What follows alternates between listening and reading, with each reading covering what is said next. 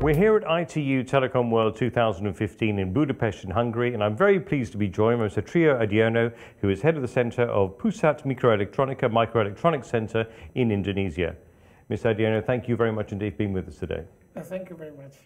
Now, you're here uh, as an SME, you're here uh, exhibiting a product. Perhaps you could tell us a little bit about what you brought with you.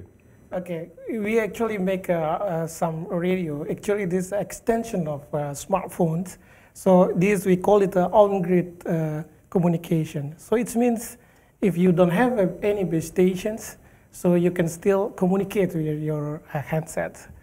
And actually this, uh, we make this one specific application for the fisheries uh, and rural area. So uh, in Indonesia, you know, it's very big sea area and many fishermen. So they need, still need a communication in the sea. So uh, you know that in the sea there's no signals. So they make, we make a radio extension in here, so it communicates through the base station, specific base station, so it can reach around uh, 30 kilometers. And we also make an application inside the, uh, this uh, device. For example, you can see the weather or uh, fish finders, the information that distributed by uh, governments and others. So basically this uh, to help the fishermen to, to find a good place for fishing. Now this is uh, still in prototype. Uh, yeah. I know that you've been uh, had a lot of uh, people coming around uh, the, your stand. Yeah. Perhaps you could tell us a little bit about the, the kind of feedback that you've been getting on this. Yeah, actually there, there are some audience that needs this one for another applications because basically this can be used in rural applications. And I think people not only uh, interested in only the communication, but also the application inside. Yeah, yeah. Not only for fishermen. I mean.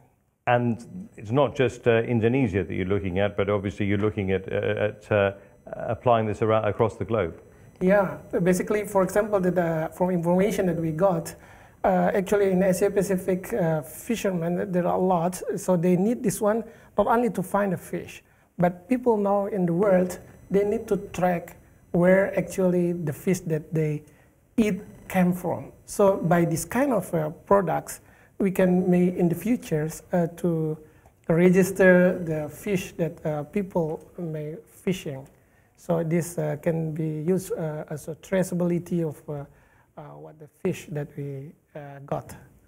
And you've come a long way. We're here in Budapest in Hungary. Just want to find out, what are you hoping to be able to take away from this particular event? Yeah, I hope uh, I can communicate to many uh, people in here from uh, other countries uh, to get also the feedback of our product, or maybe they can use our product in their countries. Uh, so uh, that's basically what we are interested in this event. Yeah.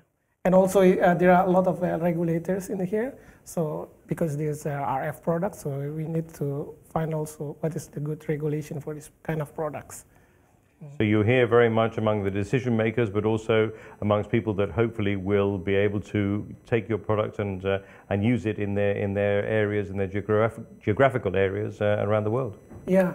Uh, for example, in Indonesia, actually there is the operators there who, who interest in using this one because this can be deployed as a services also, not as a device, but services for uh, many people. Excellent. Well, we wish you the very best, and thanks very much for being with us in the studio today. Yeah, thank you very much.